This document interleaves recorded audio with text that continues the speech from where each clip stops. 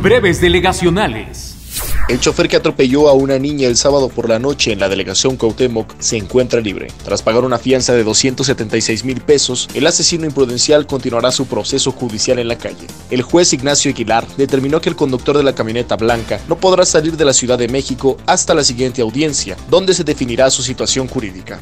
Cuatro construcciones fueron canceladas en la delegación Xochimilco. Personal de la demarcación clausuró las obras que eran realizadas en zonas de riqueza natural. El director general de Jurídico y Gobierno, Francisco Garduño, indicó que estas clausuras son para preservar las áreas naturales.